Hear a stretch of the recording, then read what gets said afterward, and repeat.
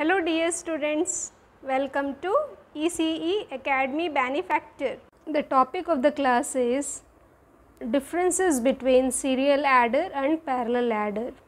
The topic is from the combinational logic circuit. The subject name is digital electronics. Let us first see the block diagram of serial adder and then see what are the differences of serial and parallel adder. The serial adder is consist, consisting of two shift registers, right shift register A, right shift register B. It is of type serial in, serial out, SISO. Right shift register B is also SISO, serial in, serial out.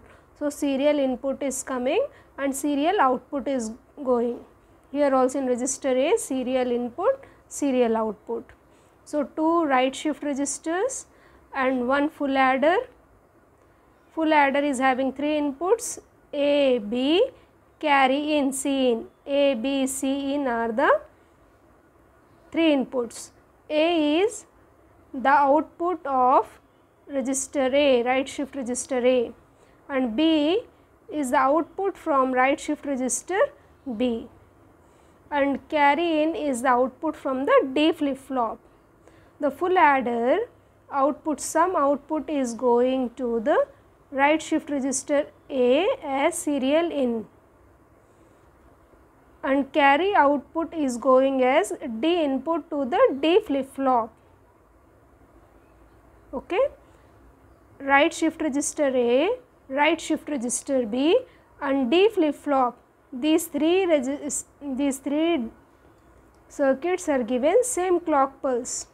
1, 2 and 3. Same clock pulse is given to right shift register A, right shift register B and D flip flop. This clear is used to make the D output initially 0 because initially the carry will be 0.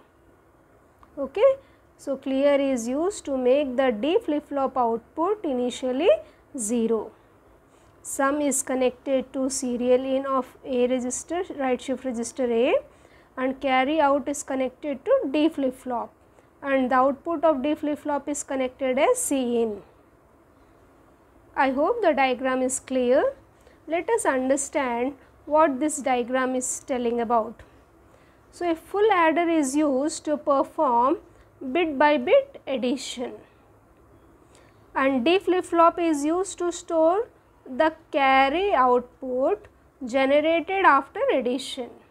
D flip flop can store one bit of information. So, it is storing the carry out generated after the addition.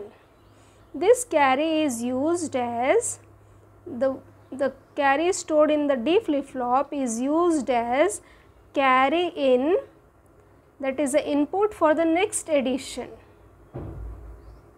Initially, the D flip flop is cleared and addition starts with least significance bits of both register A and B. After each clock pulse, data within right shift registers are shifted right.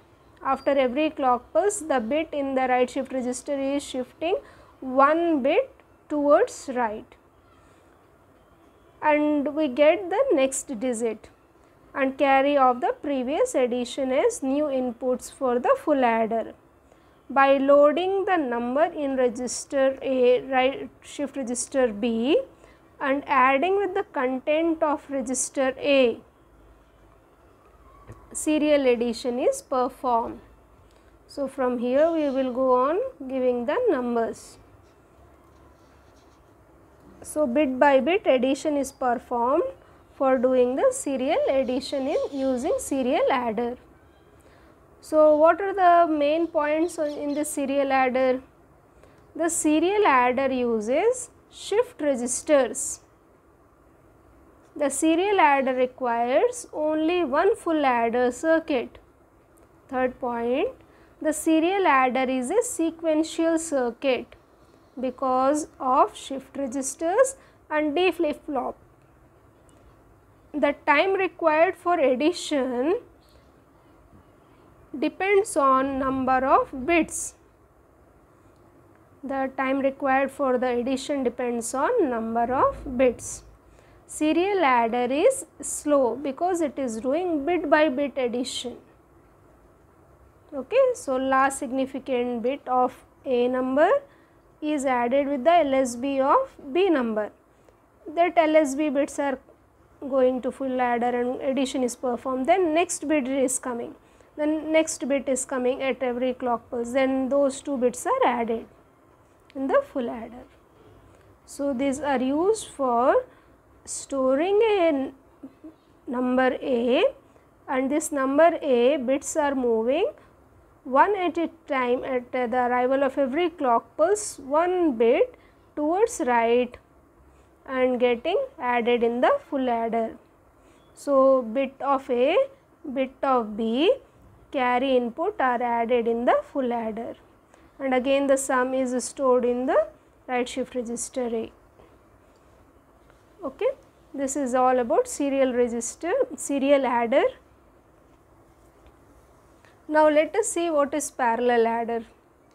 So, parallel adder we have seen it in detail in our previous class, you can refer it there.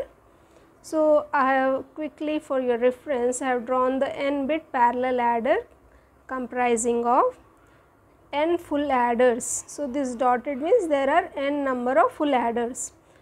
Full adder inputs are A, B, C, C in. So, the for first full adder the inputs are A0, B0, C in. The outputs of full adder are sum and carry S0 and C out. For the next full adder A1, B1 carry in output is C out and S1. For the third full adder, inputs are A2, B2, output is sum S2 and C out. And the same C out will act as C in for the next one and so on. This is nth full adder. So, inputs are AN, BN with the carry C in, output is sum SN and C out. So, what is happening?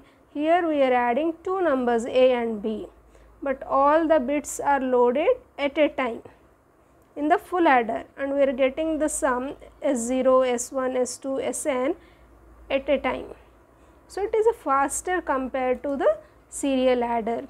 In serial adder addition is done bit by bit at every clock pulse the addition is done. So, it is slow compared to parallel adder. So, what are the important points in parallel adder?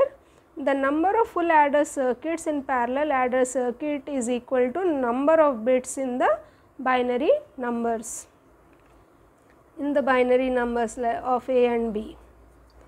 It is a combinational circuit. Time required for addition does not depend on number of because it is parallel loading, parallel output.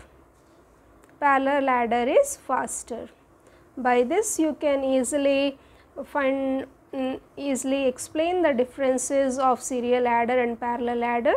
So, initially draw the circuit diagram of serial adder, give the important points of serial adder and then draw the parallel adder diagram and prove that the parallel adder is faster than serial adder because of the parallel addition going on here serial addition is going on.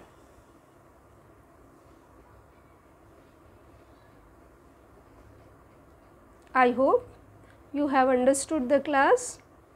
If you have any queries, you can post in the comment section.